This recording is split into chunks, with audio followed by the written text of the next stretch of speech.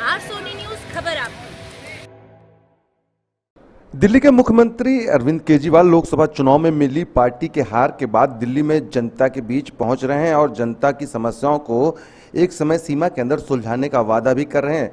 लेकिन अब उन वादों पर प्रश्न चिन्ह खड़ा होने लगा है। दरअसल दिल्ली के मुख्यमंत्री अरविंद केजरीवाल पिछले 6 जून को बदरपुर विधानसभा की गौतमपुरी इलाके में पहुँचे थे और पानी पहुँचाने का वादा किए थे लेकिन अभी तक लोगों के घर पे पीने का पानी नहीं पहुँचा जिससे लोग चिंतित हो रहे हैं और सवाल उठा रहे हैं दिल्ली सरकार और अरविंद केजरीवाल के ऊपर।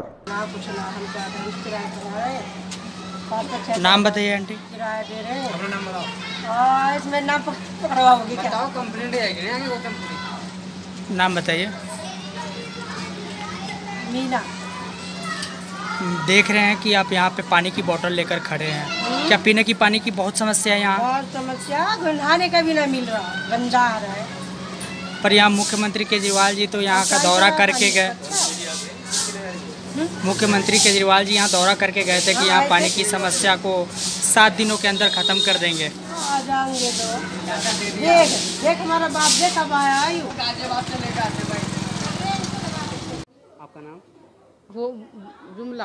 रविंद्रा जी मुख्यमंत्री ने जो वादा किया था वो पूरा हुआ? आप लोगों के पानी आ रहा है? कुछ नहीं हो रहा। कितने दिन के लिए उन्होंने बोला एक हफ़्ता।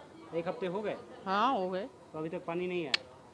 किस किस तरीके की समस्या आप लोगों को पानी को लेकर हो रही है? अब देखो क्या हम तो भाई बीस बीस रुपये बोतल ले लेते हैं। खरा पानी ये देखो मोटर पड़ी है। पड़ी है सुबह से। क्या करें? कहाँ जामे वहाँ जाते हैं तो वहाँ लाइन लगानी पड़ती है। एक बोतल भी नहीं देते ले पक्का पानी की। आपका नाम? मेरा नाम मीनाक्षी जी क्या कहेंगे? जो मुख्यमंत्री ने वादा किया था वो पूरा हुआ। भैया कुछ भी पूरा नहीं हुआ है अभी ना यहाँ पर पानी भी नहीं आया और हम लोगों ने ये खुद अपने पैसों से ये टंकी ठीक कराई थी। यहाँ पर कुछ भी नहीं होता। होता भी तो आगे आगे हो जाता है तो वहाँ के लोग तो गाते रहते हमारे यहाँ पानी आ रहा है लेकिन हम लोगों को नहीं मिलता। और अभी यहाँ पर पीने का पानी भी हम लोग खरीद के पीते हैं। एक बोतल बीस रुपए की है बताओ रोज के रोज बीस रुपए का स्लैब एक एक बीस लीटर में तो कोई गुजारा है नहीं।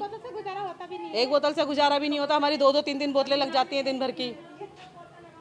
बस यहाँ पर बहुत परेशानी है पानी की आप देख भी सकते हो कि यहाँ पर कितने नंबर लगे हुए और हमें पानी नहीं मिलेगा और हमारे बस की यहाँ की औरतों से लड़ना है नहीं। कितने घंटे पानी आता है? सिर्फ़ तीन घंटे पानी आता है दिन में। और तीन घंटे पे तीन घंटे में कितने लोग भरते हैं पानी?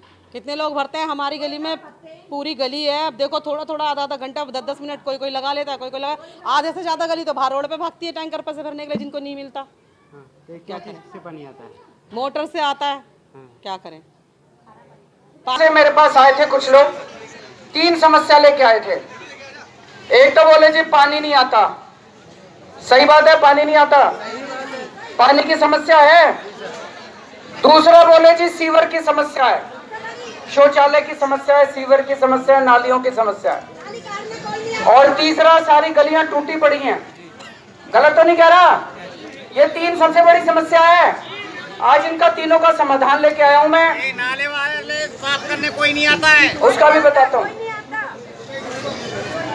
एक तो पानी की पाइपलाइन डल गई यहाँ पे।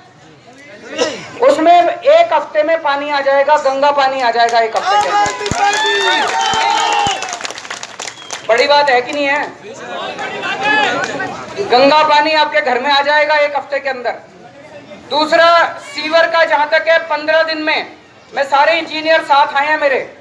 पंद्रह दिन के अंदर आपकी सीवर की पाइपलाइन डलनी चालू हो जाएगी तो आपका जो नाली का पानी है, वो सीवर के अंदर जाया करेगा, नाली की समस्या सॉल्व हो जाएगी और तीसरा जैसे सीवर डलता जाएगा।